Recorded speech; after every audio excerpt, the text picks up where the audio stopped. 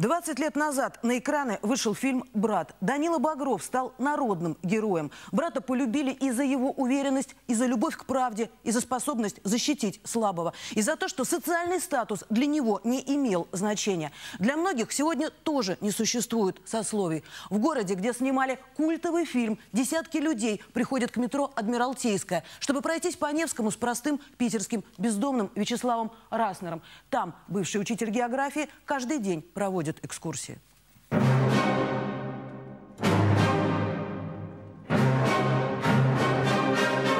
Вы начали свою карьеру экскурсовода. Вы стали знаменитым на всю страну человеком, да? На весь мир, наверное. Я снимал финское телевидение, французское телевидение, журналист из Эстонии, журналистка из Латвии. Объясняю, что я не Ален Делон, не Максим Галкин, не Филипп Киркоров. Я обыкновенный бомж. Здание гвардейских войск, 1848 год. Александр Павлович Брюлов. Пять минут мы только погуляли вот в этом месте, и уже поклонники, почитатели к Вячеславу Романовичу подходят. Я ВКонтакте слежу за группой про вас. Мне сказали, у вас 11 тысяч подписчиков.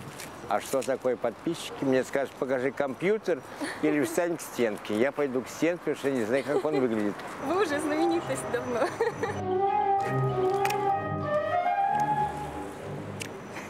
Храни вас Господь. Спасибо.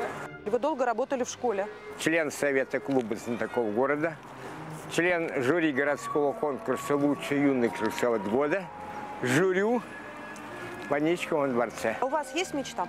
Вернуться к оседлой жизни, что называется. Вячеслав Романович, скажите, а вот вы можете дать какой-нибудь совет людям, которые тоже сейчас находятся на улице? Но я знаю, что все ходим под Богом.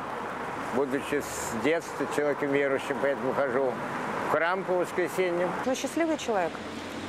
Думаю, что да.